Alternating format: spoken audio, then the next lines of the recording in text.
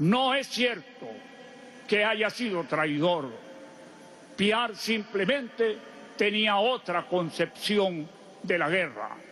No tenía la visión continental del libertador, porque en San Félix nace la independencia de la América del Sur.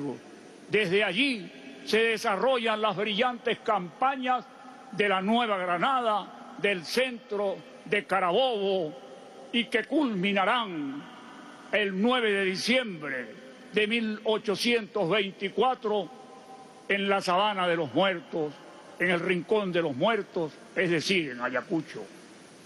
Esa visión no la tenía Piar. Hoy quiero decir, frente a los restos simbólicos del general Piar, que su ejemplo nos invita a la unidad, a la reconciliación entre los venezolanos. Su vida es un ejemplo de una causa a la que se le guardó fidelidad absoluta y no hay una letra del general Piar contra el libertador. Están sus proclamas, están sus discursos, están sus actuaciones. Piar fue profundamente bolivariano, pero no compartía la visión de la guerra continental. Es que no sabemos que son naturales las diferencias en la política y en la época de guerra mucho más. Tampoco es cierto que el libertador haya sacrificado a Piar. Piar fue juzgado por un tribunal militar integrado en circunstancia de guerra a partir de un decreto que se había dictado en 1813 y estamos hablando de sucesos de 1817. El mismo Piar se encarga de desmentir a la campaña que la historiografía oficiosa se ha empeñado en repetir.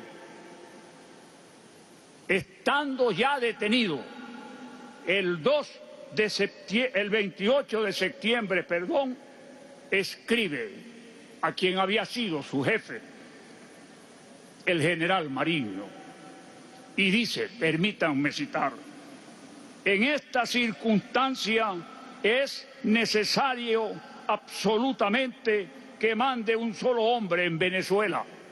Naturalmente está llamado al mando supremo el general Bolívar. Unámonos, compañero y amigo, al general Bolívar, que es el jefe. Lo que tienen, lo que traerá tantos bienes a la República.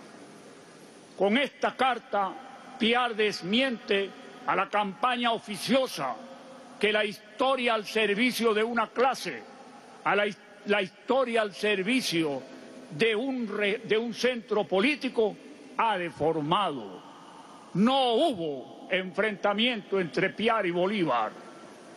Ese enfrentamiento ha sido inventado por los historiógrafos que tienen 205 años regando tinta para señalar no al Bolívar antipiarista, sino para ocultar sus verdaderos propósitos antibolivarianos.